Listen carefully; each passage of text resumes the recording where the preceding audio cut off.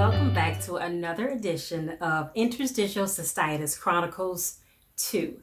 Don't forget the 2 on the end. The 2 is because I'm in another phase when it comes to IC. It just won't leave me alone. So, kind of veteran at this. But for today's topic, drum roll please, we're going to discuss amitriptyline, also known as Elavil. So, amitriptyline was one of the very first IC medications that I was prescribed. But to tell you the truth, I hadn't yet had the urodynamics cystoscopy um, hydrodistension or instillation just yet, but I was prescribed Elavil and amitriptyline by a gynecologist. So I went from at that time from primary care to a gynecologist to a urogynecologist and urologist.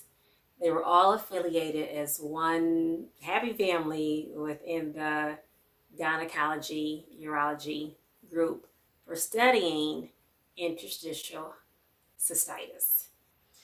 So I was telling the gynecologist that I was experiencing urgency, frequency, and I also described having some type of flutters or vibrations in my abdominal area. I was also experiencing abdominal pain, abdominal pressure, like something in my stomach just would not let me go. Now there's many different subcategories when it comes to IC. Now the one that I fall in is urgency and frequency and abdominal pressure. So when I void, I feel better. Like when my bladder is filling and once I void, release the urine, I feel much better from my urinary IC symptoms.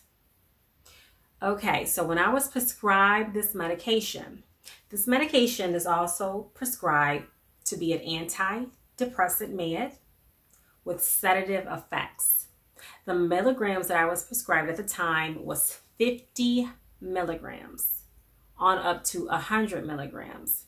Now, common adverse effects include dry mouth, weight gain, constipation, and sedation. In my opinion, from my chronicle, from my experience, when I got a hold of that medication, I still can recall I was in the bathroom and I'm like, okay, looking at looking in the mirror, like, okay, we're gonna do this. Like this is gonna be the medication that's gonna solve all my IC problems. So I took the medication. Well, the next day, I could barely wake up. I woke up, but I had this this I felt drained.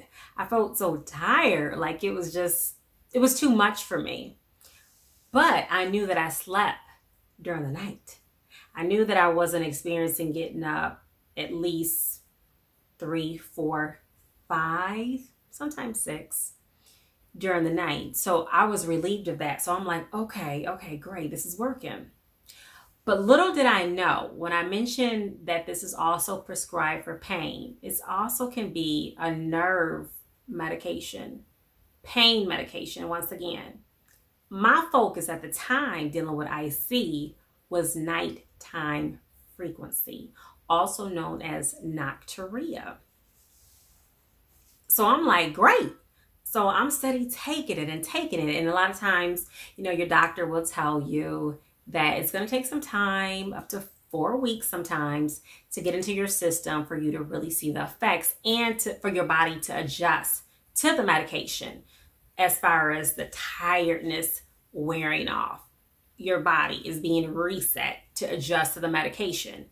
Well, my thing was, I'm getting this medication. I'm going to keep using it. I know it's working because I am sleeping. When you are sleep deprived, that's on a whole nother level as far as mood swings. Okay, so moving forward, maybe like four weeks into this medication, my other half is mentioning to me, You're looking different. And I'm thinking, Oh, honey, thinking, Yeah, in a good way, right? Well, I noticed he kept squeezing on my arms at times. I was getting a little offended, like, okay, what's up with that? Like, we never played the squishy game. Is there something I need to know? So, without him flat out saying it, but eventually he did flat out say it, you're gaining weight.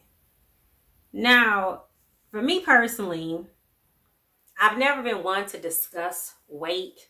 That's just not in my vocabulary. Because for one, it's like you can't make people happy if you're 110.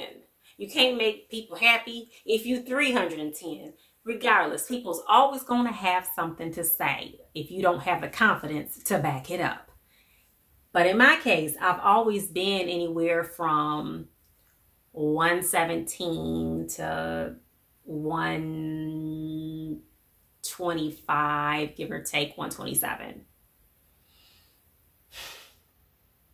But when he told me I was flat out gaining weight, like you're getting bigger, your the shape of your face is changing, your arms, just everything. You're you're getting fat, is what he told me. And I'm like, wow, that was kind of rude for you to say. But at the same time, I started thinking, like, hmm, maybe I am eating more. Well, I definitely was eating more. It got to the point where I was going through a carton of ice cream within like two hours. I'll put it back in the freezer, get some more. Put it back in the freezer, get some more. I noticed I was going to the grocery store and just buying, er, just buying erratically. And it got to the point where I was eating, eating, eating, eating, eating, eating non-stop. I was hiding food in the house. I was hiding food in my car. I was constantly eating. So I decided to do some research on the medication, amitriptyline.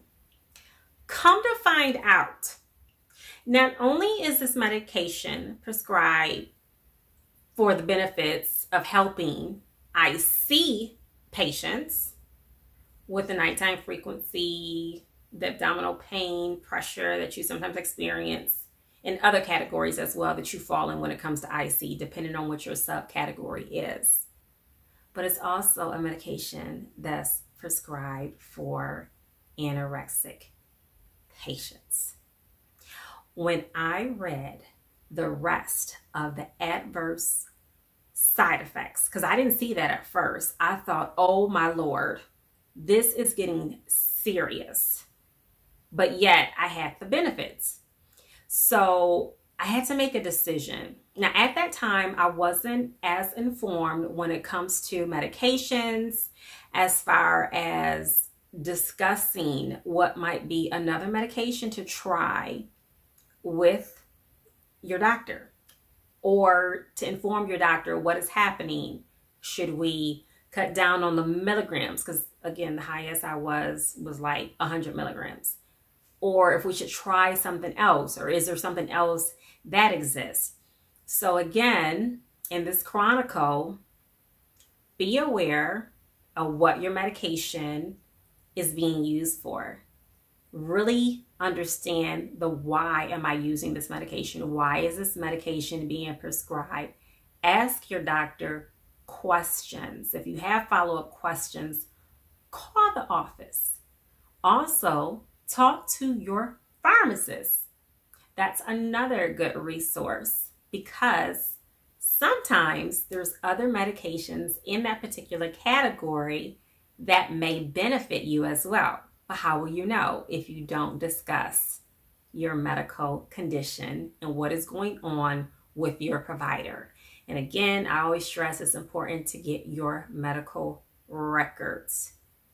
And that way you're able to communicate effectively with your next doctor who might be in line or your current doctor once you do a little research because it's so important, again, to be able to communicate effectively. Now, looking back, is there something that I could have done differently as far as maybe if I would have had help to know how to eat on this medication since I was benefiting Maybe.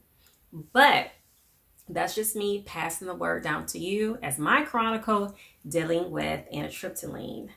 Don't forget to hit the like button. Don't forget to subscribe and leave a comment. What's been your experience when it comes to medication as far as a sleep aid, dealing with IC, if you have night nocturia, nighttime frequency. But I have heard that the medication can also benefit you from daytime frequency, again, if you fall into that category. But it's been real. Signing off, Interstitial Cystitis Chronicles 2.